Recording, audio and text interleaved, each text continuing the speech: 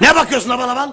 Vallahi İhsan Bey sizi seyretmek Türkiye'nin Dünya Kupası maçlarını seyretmek kadar heyecanlı. İyi. O zaman farz et ben Hakan Şükür'üm. Mutfakta kale. Sen de topsun. Şimdi ben 90'a penaltı yolluyorum haberin olsun. Atsanız ne olur? Demin Sevinç Hanım'dan bacak arası gol yediniz. Bana bunu nasıl yaparsın? Benimle gurur duyduğun yalanını nasıl söylersin? Ben yalan söylemedim ki.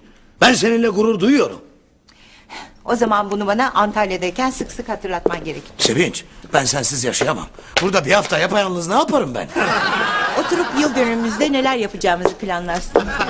Sevinç sen hiç restoran sahipleri derneğinin toplantısına katılmış mıydın? Hayır İhsan. Ya çok akıllı çocuklardır biliyor musun? Hayır İhsan. Yemekleri de harikadır. Bir şato bir yantin yaparlar parmaklarını yersin vallahi.